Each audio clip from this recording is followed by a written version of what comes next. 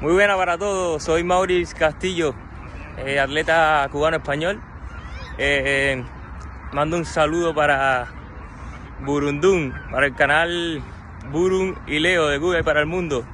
Pues nada, aquí estoy en Sevilla, en mi, en mi pista donde, bueno, donde entreno yo a, a, mi grupo, en un, un, club de atletismo se llama, que tiene mi nombre, Maurice Castillo, que lo fundé en el año 2015 todavía era atleta y ya bueno, después de 2017, en 2019 decidí retirarme y bueno, después de la pandemia ya, ya fue imposible seguir entrenando, entonces pues aquí voy con mis niños día a día y nada, tirando para adelante.